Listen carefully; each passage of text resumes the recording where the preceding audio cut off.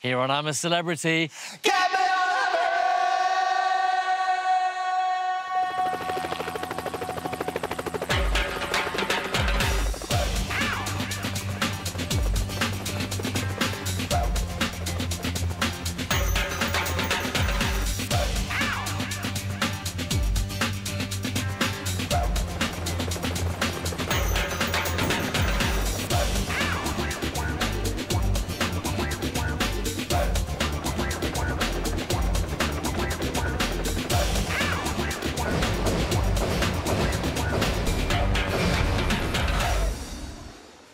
Good morning, good evening, and welcome to Australia.